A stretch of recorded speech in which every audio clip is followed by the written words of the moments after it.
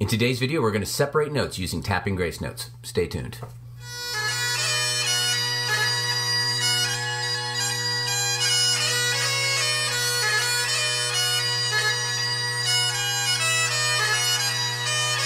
Well, hello everybody. I'm Matt Willis Bagpiper, and on this channel, I make videos to make you a stronger and more confident piper. If you like this kind of content, please give the video a like. Think about subscribing to the channel, sharing this with any other pipers you might know. I also give Skype lessons if you want more personalized instruction, but more on that later. In the description below, there's a link to the PDF we have right here. It's free, so go ahead, print it out, put it on a tablet, have it in front of you so you can follow along.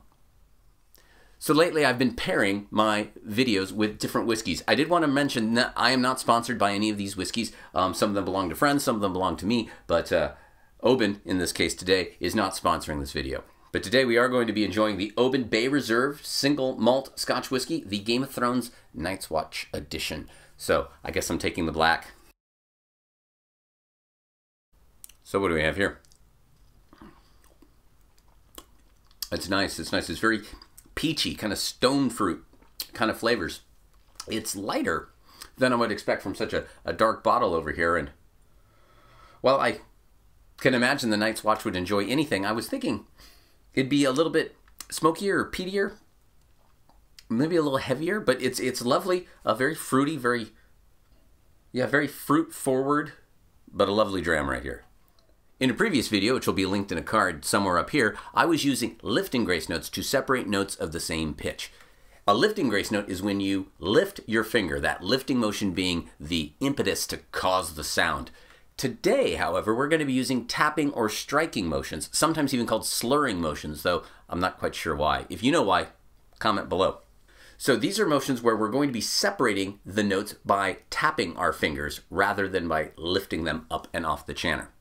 For tapping grace notes, the scale is basically broken up into two parts. You have the bottom hand, where every note taps down to a low G, and you have the top hand, where every note taps just one finger down. D is the one exception. There is a light D that's going to use one finger tapping to a C, and a heavy D that's going to use all the fingers striking down to low G. They do sound different, and they have a different effect to the music, so it's nice as someone who's written some pipe tunes to have some variety in how we separate our Ds. I want to point out first that we can't tap or strike any notes from low G. There's nothing more that can be lowered. I did see uh, Stuart Liddell um, use his knees to stop the holes on the side and get kind of a low E, which was a neat effect, but not terribly practical for the rest of us. But as I said just a minute ago, A, B, C, and D all strike down to low G every time. So in this exercise, we're first going to figure out how to get from the theme note, in this case A, down to low G cleanly without any runs or false fingering or crossing noises or anything. Now, in the case of A, it's pretty easy. It's one finger. So we're going to start G grace note on that note, down to low G, up again to an A, and then we are going to tap that finger. We're going to do that twice. Then we're going to move on, do one lifting grace note, and then three successive taps of that finger. The metronome app here is Tempo by Frozen Ape. It's a great metronome, but any metronome on a phone tends to work well. If you know how to use your metronome, just do that.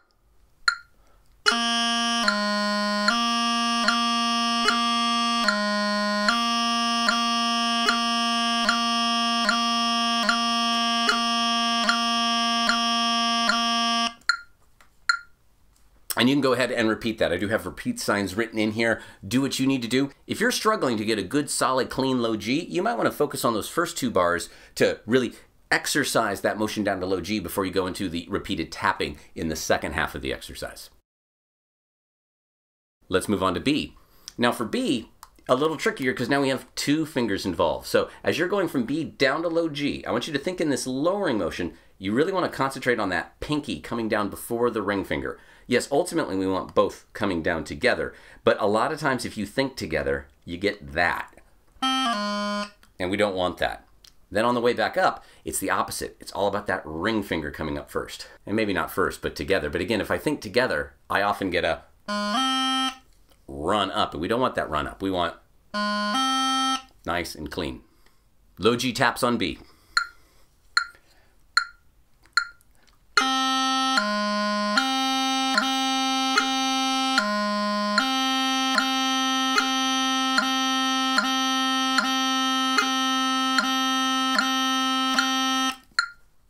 we want to make sure as we're playing that the grace notes and the taps both are landing smartly on that metronome click. The metronome click and the sound of your grace note, whether it's a lifting grace note or a tapping grace note, should be one in the same. They should happen at the exact same time. If you find that's not happening, bring the metronome tempo down. I'm at 75. Pick a tempo that's going to work for you but make sure that you're playing it on the beat. This exercise is not terribly valuable if you're just going through.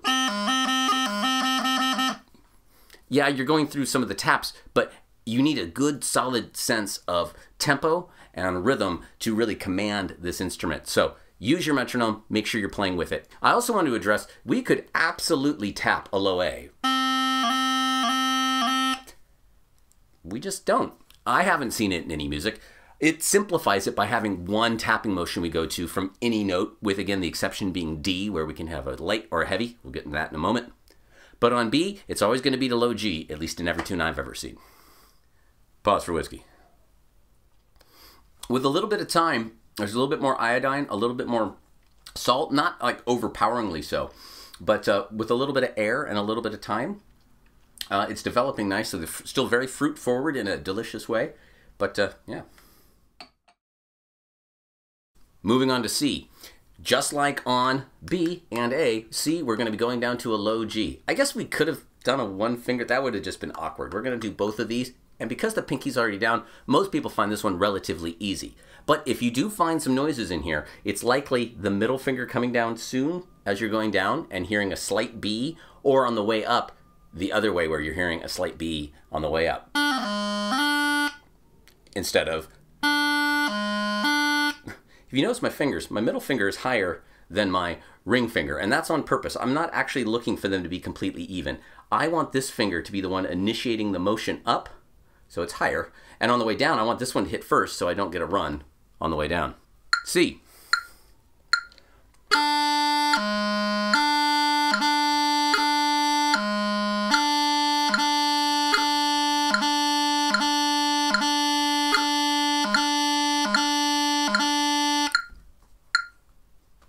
Again, feel free to repeat the first two bars or the second two bars or the entire line. Do what you need to do so that that line is good, clean, and accurate. Next up, the heavy D tap. A vast majority of the striking motions or tapping motions that I have seen from D are this heavy one with all three fingers. The light one, it's a much lighter sound, and I think this is maybe just more impressive. It's my preference most of the time. There are times I like a light strike, but for the most part, I use the heavy strike. So again, that's all the way down to low G. Again, chance for a run.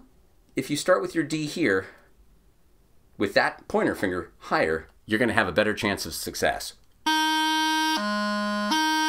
And I actually have just a little bit of radial motion in my wrist as I'm doing this. I'm not just isolating my fingers. I'm kind of bringing my pointer finger up by actually moving my wrist slightly.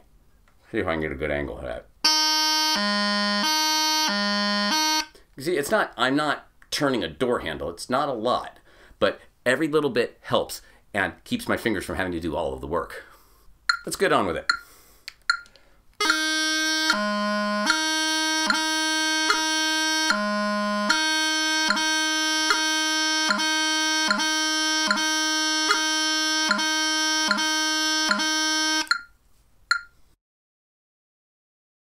So for the rest of the scale, we're going to be tapping just a single finger, and we're going to start again with D, now going to the light D. So this time we're going to be just tapping the one pointer finger down.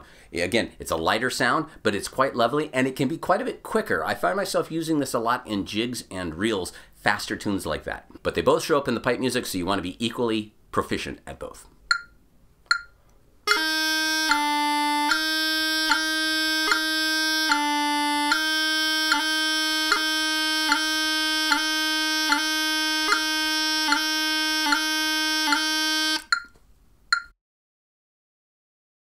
Moving on to E. This is going to be one of the most common of the tapping motions we're going to do. It's still a single finger motion, but you notice it's going to a low A. So on E, if you're properly covering, and you should be, when you tap that one finger, you get a low A out.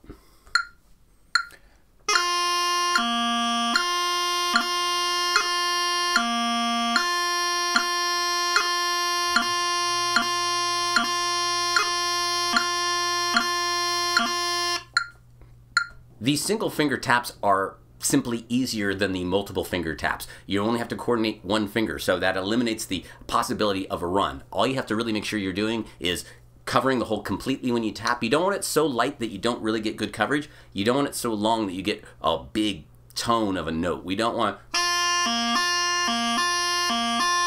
those A's are a bit too long and it sounds more like a short melodic A rather than a separating A.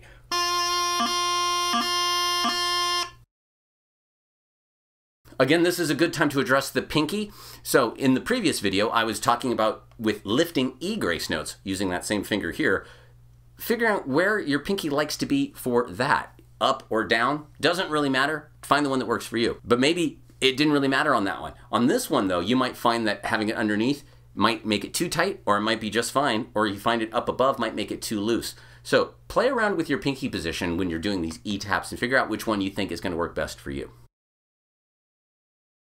All right, moving on to F. This is going to be the middle finger.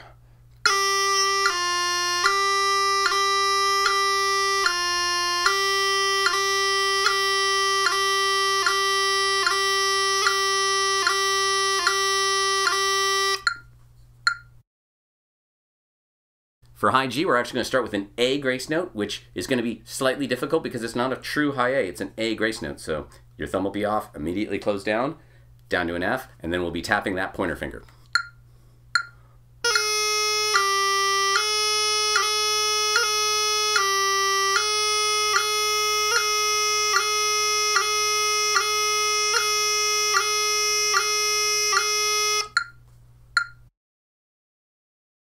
High A, we're going to use primarily sweeping motions. We'll be getting to that in a future video, which again will be linked up here when it's ready. And just like that, you have tapped on all of the notes of the scale that we're really going to use. Again, with high A, we're going to be using some sweeping motions of our thumb primarily, so we'll be getting to that next time. Well, I hope you got something out of this video, and if you did, please think about giving the video a like, subscribing to the channel, all that stuff. It helps more than you know.